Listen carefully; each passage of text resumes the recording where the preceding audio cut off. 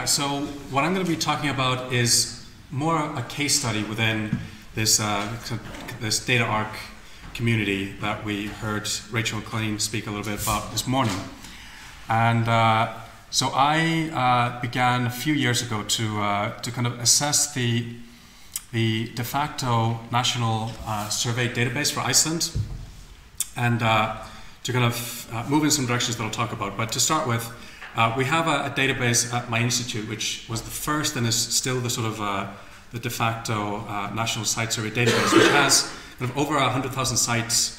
Uh, the, the structure, when, it, when I uh, kind of got working with it, was quite flat and, and uh, yeah, not relational. But what it did have was this interesting kind of contextual side where you basically had a, a big kind of dump of, um, of, of historical information. So I thought, um, that would be something that would be very interesting to develop a little bit further. So the the, the database itself has um, various coverage across the, the country. Uh, we haven't really like surveyed the entire country yet, but um, it's it's really uh, the model uh, we've, we've set over the last 20 or 30 years. Um, others have also contributed, uh, but the, the structure thankfully is very similar. Um, but I will say that when you look at the, the sort of uh, the, the structure, is that even the, the kind of Postgres schema that I've been developing uh, for the for the site-based uh, structure itself uh, has some uh, kind of affordance for historical contextualization, but not very much. It's very much a sort of site-based database. Um, at the same time, uh, there is a lot of like very well uh, sort of known historical information that crops up in in the, the kind of preparatory process that people uh, need to contextualize these sites, it just doesn't really fit into a site-based database. Um, in particular because a lot of that information doesn't necessarily relate to anyone's site, it's about something more general like a, a farmstead or some sort of community. Uh, it's things that cross uh, one site or, or, relates to the sort of things that happen between sites or those kinds of, of, of interactions. So uh, I've, I've kind of taken that on as a, as a sort of uh, doctoral project, uh, constructing this kind of scaffold over the site survey records aimed at, ex at exploring the connectivity and interaction between sites. So, uh, project's called Storied Lines, and it aims to kind of contextualize survey sites. As I said, uh, it's what I call a network perspective. Um, I don't necessarily do formal network analysis, although that's something that, that is possible, but the network perspective can be uh, useful in a lot of other ways than just producing uh, graphs and sort of metrics of graphs. But uh, what, what, I, what it aims to do is sort of uh, bring focus on some of the social processes that we as archaeologists study. And so uh, what I'll show you a little bit later are sort of these speculative possibilities for interpreting the archaeological record. Uh, it's uh, based on about 10,000 OCR and georeferenced historical records, which connect directly to like 7,000 of the 100,000 points uh, but those are the, the, the, sites that are known with certainty. And then a lot of other connections are more tenuous, i.e., there's a there's a, a um, you know like an outhouse which is close to the farm mound, obviously belongs to the farm mound, but isn't precisely the farm mound mentioned. So it's um, uh, the the connect the, the, connectivity tends to be uh, you know sort of tiered and uh, described in the metadata. So. This, as a lot of these sort of projects uh, go, starts in-house in, in an institution or university. But I have been speaking to uh, our national uh, heritage agency who've very in interested in adopting this as a kind of historical and contextual layer for the, the whole uh, site survey project of Iceland. And uh, our institute has certain obligations to Ariadne and DataArc, and, and this is also a, an aim to sort of bring uh, an, an, umbrella above, uh, sort of across all of our data to, to ease interoperability. Um, why is Iceland a good case study for this sort of thing? Particularly, uh, why is it a good case study for using this kind of network perspective? Uh, Iceland's very useful because it's an island. It's a fairly remote island, meaning um, there is quite a bit of a difference between things that happen within the the national boundary and those that, that happen sort of that, that sort of cross that boundary. We tend to know how those interactions took place from the the, the settlement age, 9th century towards you know the, the 19th century when my project effect effectively stops. Uh, we, we have the kind of harbor sites either known uh, physically or, or roughly. Uh, but the, the, the, really interesting thing is that the, the, the, the structure of settlement is incredibly stable uh, through uh, at least the, the, 12th century up into the 1800s. Why? Uh, there's, there's a lot of reasons for this, but it, it has to do with just political will at, at, through these centuries. There was a reason why villages didn't really uh, form. There was a reason why this, uh, these, these farms remained the main social structure. Uh, you needed to be, uh, you were situated in this, in this kind of farm set structure, uh, and it, it determined your ability to vote, your ability to marry, your ability to really live your life. So uh, we have just a nice uh, closed sort of system in a way um, with a stable structure, and finally a extremely detailed land census from the early 1700s, which I'll be talking about uh, more in this in this talk. So uh, going beyond the, the site survey database, I can now just say I'm interested in everything. I'm interested in the entire country. So I have, uh, through means of, of both, uh, you know, actual uh, archaeological site survey and some remote sensing, old maps, just identified each and every one of these like farmstead social units that remain the, the building blocks of society from probably the 10th century into the, the 19th century. Uh, I, they, it's, it's white in the east because that's uh, an area where we have just poor coverage of data.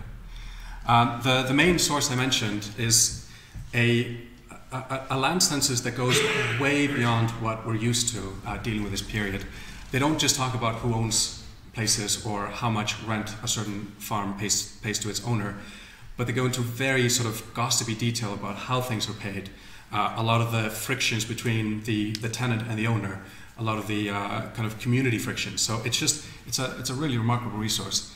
And uh, I've been just taking this, this book and when it comes to transparency, uh, I've been doing a lot of interpretations, but at the same time, uh, I'm very aware that uh, uh citing my kind of my work has to be very uh, easy. Uh, so seeing seeing my, my thought process, my inferences. So I, I, just decided to scan everything, break it down into units based on the descriptions for these farms, put it into a, a Postgres database. every every farm has its has its spatial location as a point, and then you know I'm interfacing with a, with a Postgres database through these uh, commonly used uh, tools. Uh, the, the implication of having a fully text, fully sort of georeferenced text of thousands and thousands of pages means um, it's, it's a sort of a, a, safety net for, for the things that you then claim uh, in your analysis. But it's also a kind of uh, a distant reading or kind of rapid prototyping tool. So you can go to my website, uh, which uh, is, I'll, give you the, the link later. Uh, and you can just search for certain terms. So the, the picture at the bottom shows you every single farm where they're talking about charcoal production. So immediately you get some sort of uh, some sort of uh, selection, which then can uh, start a, an interesting research uh, project going. The, the, one at the top is similar, where you, I'm comparing uh, places where they're doing goat husbandry in the 18th century with goat placements in the country. And again, just very quickly, you get some sort of rapid prototyping for, for, uh, for an investigation. That's the, the first reason why you might want to spatialize uh, an entire textual resource. Um, this is a, an 18th century database, that's the best way I can put it. When you look at just the, the descriptions across the entire vol uh, volumes, the, the search, the, the, sort of descriptive terms are very standardized. They're using four or five adjectives for everything. Uh, the structure is the same. Um, and when you look at the structure, uh, what becomes very clear is that they are not necessarily describing spatially contiguous units.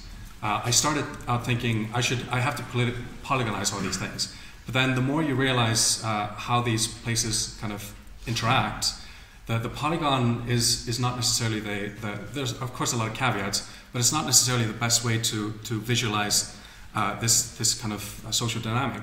So as you see, as you go kind of down the list, um, there's an owner, there's always an owner, and he or she is geolocated in the book 99% of the time. It's someone who lives at a farm. Um, very often you'll have these uh, resource rights to other farms. Uh, these can be quite extensive. Uh, the, a lot of these farms don't they're not sort of in, kind of uh, they're not sustainable in themselves, but they rely on maybe peat, turf, some pasture from other farms that will be trading something else. And so uh, when you when you think about it topologically, uh, every farmstead, which is the, the, kind of black node, does have these uh, subsidiary units. Um, sometimes they'll have tenant farms established in their outfields. They will have resources that they own, but then when you kind of scale up, uh, these farms do have claims and relations to other farms. So it's, it's really this, this kind of uh, networks of networks, you could say. So how does that look like in, in practice? This is a, a 12th century document. Well, it's, it's kind of a, a, a, mishmash of 12th to 14th century uh, property registers for, for a single farm. And we can see immediately, immediately that this farm has claims on pasture, uh, uh, turf, fishing rights across not just its immediate neighbors, but across really a, a, large region in a fairly big country. And they even have a claim on something, uh, on, on, driftwood in, in the northwest of the country, which, which is hundreds of kilometers away and, uh, and quite, quite difficult to ever see sort of uh, how they might, might have gotten that driftwood. But, but it's there, and we have evidence to suggest that this was used. And so if we think about this as kind of one farm and then we scale up, in my database, through my analysis, I have constructed these uh, tables of interactions which have certain sort of modes of connectivity. I'm not going to get into this too much, um, but we have sort of uh, property in the, in the top left corner, private property, state property next to it, resource claims, parishes, uh, trade ports, all kinds of things suggesting some sort of connectivity. But I'm not going to dwell on this too long because this in itself isn't that illustrative about what happens when you start to read these descriptions? Uh, every one of these maps is really a, a, sort of slice or a reduction of a multiplicity of a very complex social, social dynamic.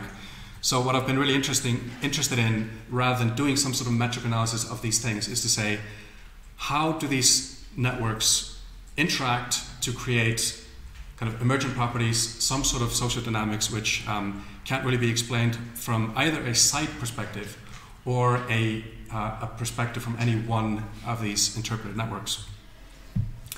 So what's very clear is that um, all these networks affect each other in some way.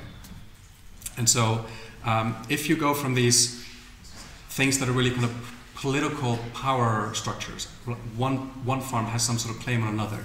It's about power, it's not necessarily about material. But when you start to say, okay, how would these be articulated as material flows? Then we can start to kind of delve into the material and, and go a little bit deeper. So just as a, as a quick example, uh, there's this, this, uh, this, this, this really good case in, in the north of Iceland where uh, you, you have a description of one farm claiming turf on another farm.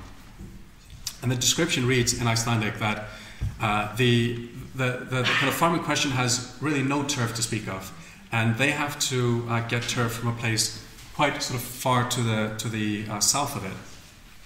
Um, but the description also says this is like uh, a really inconvenient situation for the tenant. Uh, they've been complaining about it. It takes over a week for this to, to happen. They have to do it every year. Then you think, then why? Why aren't they just kind of connecting to the to the nearest place which has decent turf, which you know is is basically the next farm over? But then uh, when you look into it, the both farms are owned by uh, a very large landholder down, down south. And uh, once you start to, to read all these resource descriptions uh, that have to do with the, the tenants on the, the farms under that sort of big land- landowner, it's clear that the landowner has, uh, great, has his, his own way of, of doing things, his own way of, of kind of organizing uh, these site to site relations that end up uh, kind of turning this line into basically a triangle. So this is just a, a very quick example, and I'm going to go through uh, a way in which we can take this, this sort of models of connectivity and go from uh, a picture that looks a lot like a, a, kind of site survey record into something a lot more interpretive. So if we take the largest landholder in, in the country, in the south, Skálholt, we can see that uh, the red points on the map uh, show the, the properties under that farm we can, um, we can start then say, okay, well, what do we mean when we say ownership? What kind of material transactions are taking place? Uh, uh, a typical kind of network model would, would, look like this. And again, we have these straight lines. We don't necessarily have a lot of uh, insight into how these things are transacted materially when it comes to paying rent back to the farm. Uh, another thing to keep in mind is that uh, Iceland is a uh, is a monopoly system at the time, i.e., that every single farm has only one trade port to, to, to trade with. So we're kind of looking at two uh, two networks here that have some sort of influence on each other. If we if we kind of zoom in into the Skálholt property, we can see that the, the properties are split into two trade zones. So immediately we think, okay, our situation when it comes to material flows is somewhere sort of split between these two networks. But there's another complication in that when you read the description for every rent paid, it is not being paid directly to the Episcopal See. Uh, the, the bishop sort of looks at, or kind of takes advantage of uh, infrastructures, social infrastructures already in place, i.e., the annual kind of sheep gatherings that happen in, in the autumn. And so when you look at the descriptions, if you go back and kind of do a text search, it's very common for, uh, the, for there to be a description saying that uh, a farm owned by a bishop has some sort of stipulation about the, the sorting fold, the sheepfold being where the resources are being consolidated. So here it's just a, a quick uh, spatial query combining the sort of terms that would frequently co-occur in that sort of description. So again, if we do a query showing the, the bishop's farms that share, uh, like that have these communal sorting folds, that we can kind of do a, a quick uh, query looking like that, and then we can turn that into a sort of intermediary, intermediary network, network that sort of articulates the large network you saw earlier, which is a very sort of abstract diagram about material flows, into something that is much more based on sort of local historical understanding. And then finally, we can, we can sort of sort that with the knowledge about these trading ports being the eventual sort of destinations for a lot of materials and, and create uh, a much more sort of articulated contextual uh, network based on the fact that we have all these networks that we can kind of cross query. And uh, I describe this, this final network in the, the top right corner as kind of a, a speculative, kind of a speculative um, uh, sort of contextual medium for, uh, for using as, a, as an interpretation for the, for the archaeological record. And uh, that's really what, what data arc is about. We have, uh, we have this kind of historical side, we have uh, site survey records, and we're attempting to um, connect the two in interesting ways to create something that you wouldn't really uh, detect from, from either direction. And uh, as, as we were kind of talking about this morning, you can then scale that up by, by using shared combinators to bring in you know, some, some information from the saga, some information from the historical environment in order to create a more kind of complex picture of socio-dynamics that uh, result in the sort of material culture we investigate. Thanks.